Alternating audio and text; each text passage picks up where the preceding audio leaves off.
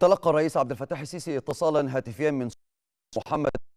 هيان ولي عهد أبو ظبي ونائب القائد الأعلى للقوات المسلحة بالإمارات للتهنئة بمناسبة قرب حلول عيد الفطر المبارك ومعربا عن خالص تمنياته لمصر وشعبها بكل التقدم والازدهار. وأعلن المتحدث الرسمي باسم رئاسة الجمهورية سفير الراضي بأن الرئيس السيسي أعرب عن خالص تقديره للشيخ محمد بن زايد للفتة الكريمة داعيا الله العلي القدير أن يعيد هذه المناسبة المباركة على دولة الإمارات وشعبها الشقيق والأمة الإسلامية باليمن والبركات.